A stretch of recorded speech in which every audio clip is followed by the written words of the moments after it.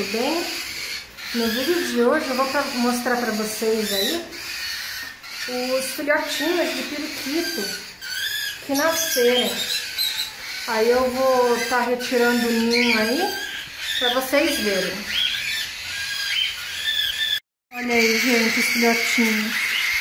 Tá com três filhotinhos, tem um bem novinho aqui, mais esses dois Tá meio sujo ainda porque é a primeira cria que eu tiro. Eu achei que eles são muito novinhos, tá?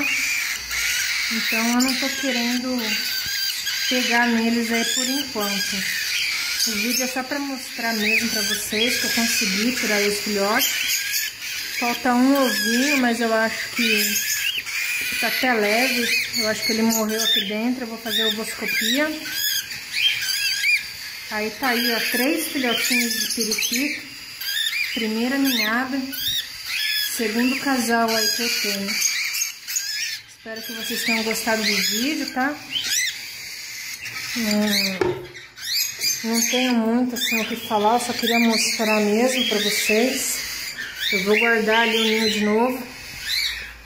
E aí o ninho. Nossa, eu tô muito feliz.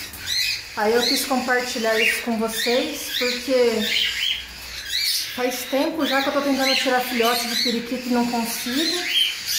Tá aqui o papaizão, ó. Papaizão lindo. E a mãe é albina. Eu coloquei o ninho, ela já foi até lá pra dentro. E tá aí, três filhotinhos aí dentro do ninho. Agora falta esse, esse aqui, que é o mestiço com a fêmea ali, ó. Mas eles ainda nem cruzaram, ela de vez em quando entra lá dentro. Eles fazem carinho no outro, ele dá comida pra ela, tudo, mas ainda não chegaram a cruzar.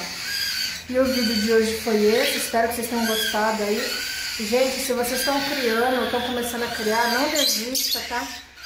Tem que ter paciência, tem que, ter, tem que se dedicar.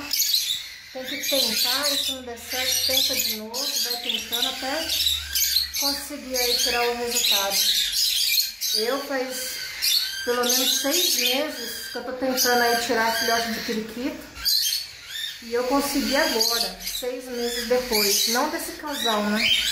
Era um outro casal, mas a gente vai tentando, vai mexendo até conseguir. Espero que vocês tenham gostado. Não esqueça de se inscrever no nosso canal, curtir nosso vídeo e até a próxima!